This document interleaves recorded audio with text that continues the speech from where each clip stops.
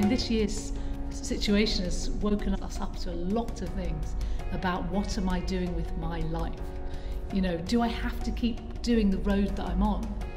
Because the whole world stopped, we all had a chance to just pause and go, uh, what am I doing? And I think it's so important that theatre and art forces us to go, just see differently. It's not demanding we see a particular thing, it is demanding that we see our way that we view this world differently for a second. That you go to the theatre and you can suddenly go, ah, oh, there's other possibilities, there's other points of view, there's other ways of looking at my life.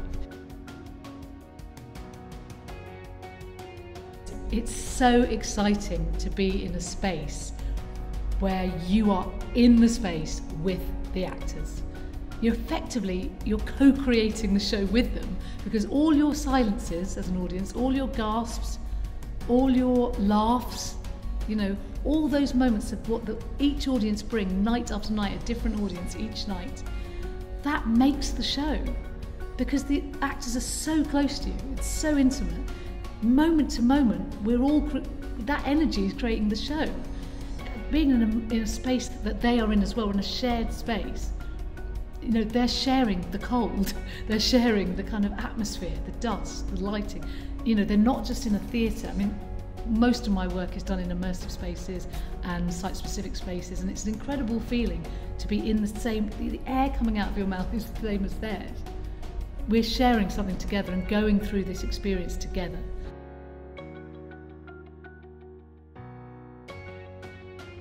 truthful performance is at the heart of all my work. I've developed this thing called the Gonsalves method, and it's a particular way of working that's getting actors to be authentic and connected.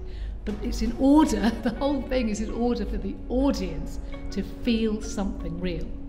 And our job as artists, I think, is to open the hearts of the audience. And then you tell them a story that affects them.